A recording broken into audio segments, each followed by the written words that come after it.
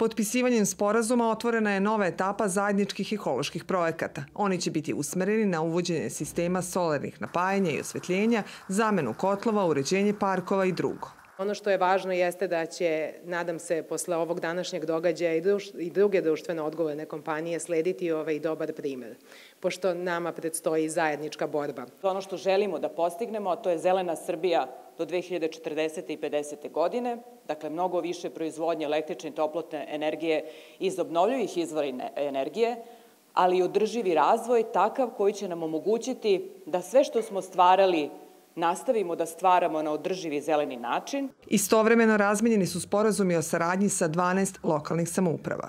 Ova etapa koju danas otvaramo u saradnji vlade Srbije, odnosno dva ministarstva i naftne industrije Srbije i nas sa lokalnog nivoa, pokazuje da je Srbija dovoljno ojačala, sazrela, da se osnažila, da povede računa o svakom aspektu života svojih građana. Od 2009. godine u razvoj lokalnih zajednica NIS je kroz program Zajednici zajedno uložio oko 1,4 milijarde dinara i realizovao više od hiljadu projekata.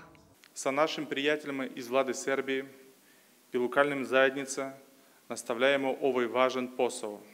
Nastavljamo da ulepšavamo Srbiju. I radićemo na tome svakog dana uprkos izazovnom vremenu.